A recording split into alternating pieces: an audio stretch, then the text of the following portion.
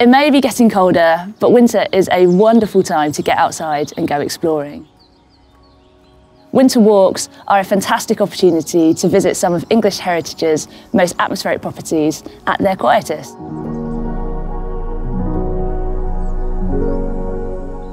To help you make the most of your winter adventures, English Heritage has a selection of walks that connect some of their most beautiful properties.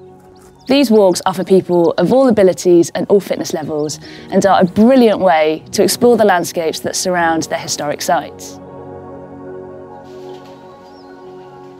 Today we're on the North Yorkshire Moors, walking the two and a half mile route from Helmsley Castle to Rievaulx Abbey.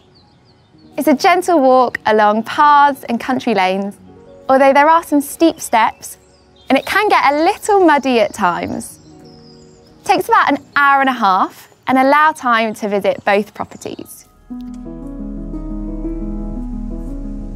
You can walk this route in either direction, but today we're starting at the stunning Helmsley Castle because it's easy to get to and there's easy parking.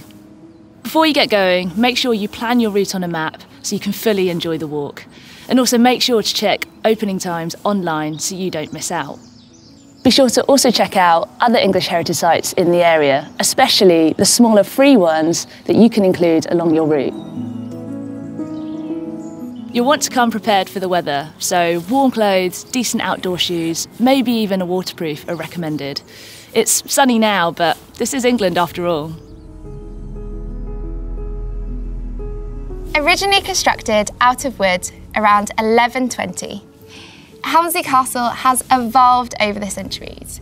From a mighty medieval fortress to a luxurious Tudor mansion a Civil War stronghold, and finally a romantic ruin.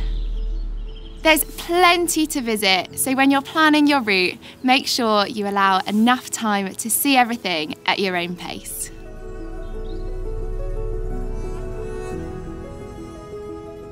It's amazing to come and stand in such a historic place.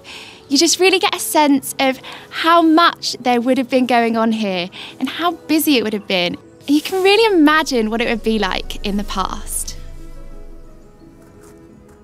We're now leaving Helmsley Castle, walking along the Cleveland Way to the stunning ruins of Rievaulx Abbey. According to a 12th century description, high hills surround the valley, clothed by trees, encircling it like a crown. Sounds absolutely stunning. Can't wait to take a look.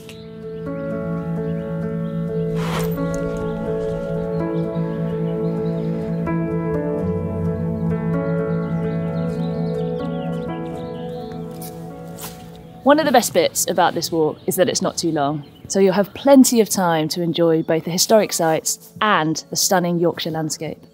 Something that I love to do is imagine how a place would look and feel in the past, and it's amazing to think that we could be walking in the same footsteps as the medieval monks who used to live in this area.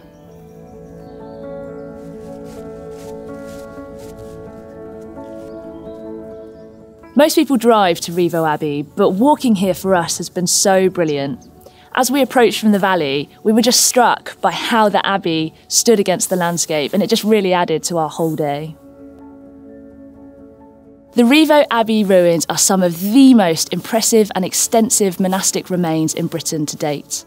What's amazing is that it survives almost to its full height, with the east end of the church dominating over the ruins. You can walk through the maze of monastic buildings and really start to see where the Cistercian monks lived, worked, and cared for the sick. English Heritage members get free access to these sites. This means that you can stay as long or as short as you like and come back as many times as you like. So if you don't fit it all in in one trip, you can come back again and again. If you want to learn more about the site, it's always worth speaking to English Heritage staff. They have so much knowledge and they're always really happy to share it with visitors. The other great thing about this walk is that there's a cafe so you can stop and re energise.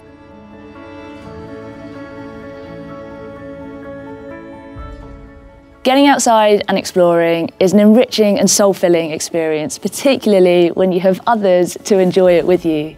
I'm absolutely loving seeing more and more people get into the outdoors and also sharing it with their own communities. I used to think that you had to get away over winter, but there is so much about winter in England that you can really enjoy. Whether it's the dew and the frost on the ground in the mornings or crisp wintry walks.